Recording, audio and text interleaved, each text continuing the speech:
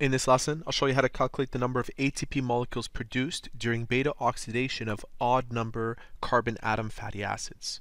The question reads, how much ATP is formed when a 17 carbon fatty acid molecule undergoes beta oxidation? Take a look at our fatty acid. Notice that each of these vertices represents one carbon atom, and together there are 17 of them. In step number one, what we have to do is let n represent the number of carbon atoms. So n is equal to 17. The number of rounds of beta oxidation and the number of acetyl-CoA molecules produced can be found using this formula. So we'll take 17 and divide it by 2, then subtract 1.5. So we'll take our number 17, divide by 2, and subtract 1.5 from that. 17 divided by 2 is 8.5, and if we take away 1.5 from that, we end up with 7. This means that 7 acetyl coenzyme A molecules are formed within 7 rounds. Just to give you a visual of what's happening, for every round, two carbon atoms are cleaved. So this carbon atom is cleaved into acetyl-CoA. So is this, this, this. That's our fourth round, fifth round, sixth round, seventh, and in our eighth round, you can't break this down any further.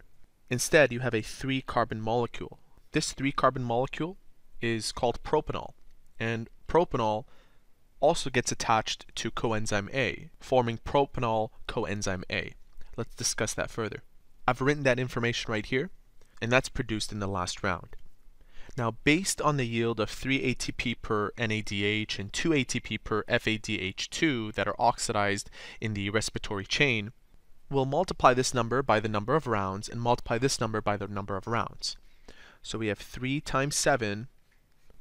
And before I continue, I just wrote 2.5 and 1.5 above the highlighted numbers. The reason why I noted that is because some sources suggest that instead of 3 and 2, it's 2.5 and 1.5 per NADH and FADH2 that enters oxidative phosphorylation. Therefore, it depends on your teacher that you choose the right one. For the sake of simplicity, I'll be using 3 and 2. Now let's continue where we left off, and we'll multiply 2 by the 7 rounds. 3 times 7 is 21, and 2 times 7 is 14. Now in this point over here we say multiply the number of acetyl-CoAs, which in our case is 7, by 12 ATP. Now once again, you multiply by 12 ATP if you're using 3 and 2. Otherwise you'd multiply by 10 and use 2.5 and 1.5. So I'll take 12 and multiply that by 7, which is equal to 84. Let's add up all these numbers. 84 plus 21 plus 14. I'll use my calculator. 84 plus 21 plus 14 gives us 119 ATPs formed. Now don't forget that in order for beta oxidation to occur, the molecule, the fatty acid, needs to be activated at the very beginning and that's equivalent to 2 ATPs. So we'll take our number of 119 and subtract it from 2, which yields 117 ATP molecules. Now you're probably wondering what happened to propionyl coenzyme A. Let's discuss that here. The propionyl coenzyme A must undergo a carboxylation in a sequence of reactions requiring biotin and vitamin B12. These reactions produce succinyl-CoA at a cost of 1 ATP, considered as taking away 1 ATP from what we found earlier.